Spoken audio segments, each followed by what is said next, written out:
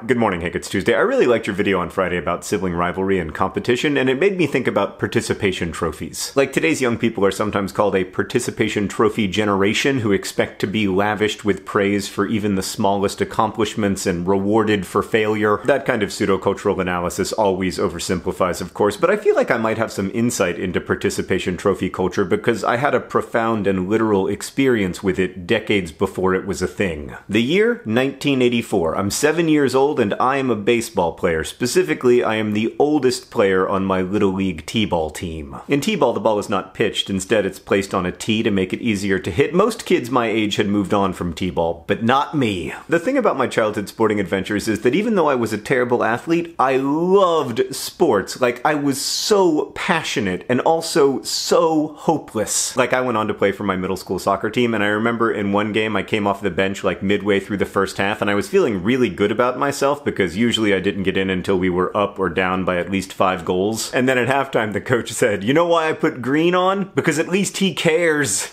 I was like a motivational tool. Anyway, back to T-ball. I had a pretty good season that year, owing to the fact that I was one to three years older than all of my fellow competitors. And then came the end of season awards banquet. Like all the other kids, I got a small participation award, but then they started handing out the real trophies, the ones that you got if you were selected for the T-ball All-Star team, which I was not. But then the coach said, and this year's alternates for the All-Star team are some kid's name and John Green. I was an alternate star, an almost star. Should an all star get injured or otherwise be indisposed, I would become an all star, and if we won the all star game, I would get a trophy. There was only one problem. Our family was scheduled to be out of town during the all star game visiting my grandparents, which clearly needed to be rescheduled because I was an alternate for the all star team. They were counting on me. What if, I argued to my parents, one of the all stars contracts chickenpox? Is the all star game gonna get called off because the alternate is unavailable? Or is the alternate going to go into the All Star game,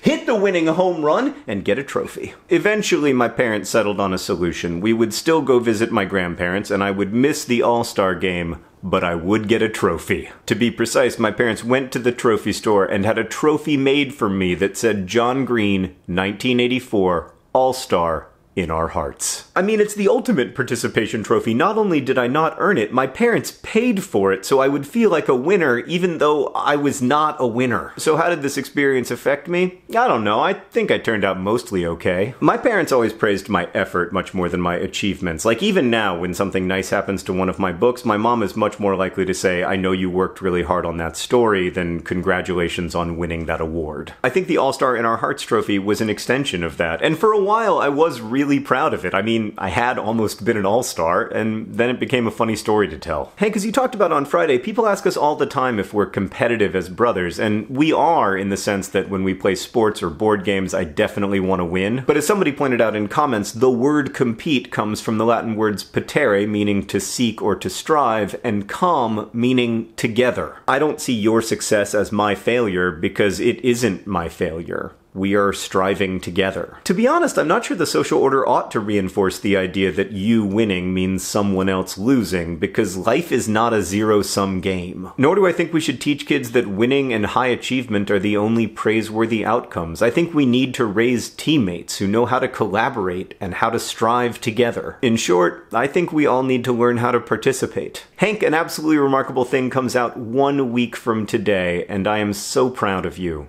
because I know how hard you worked on it. I'll see you on Friday.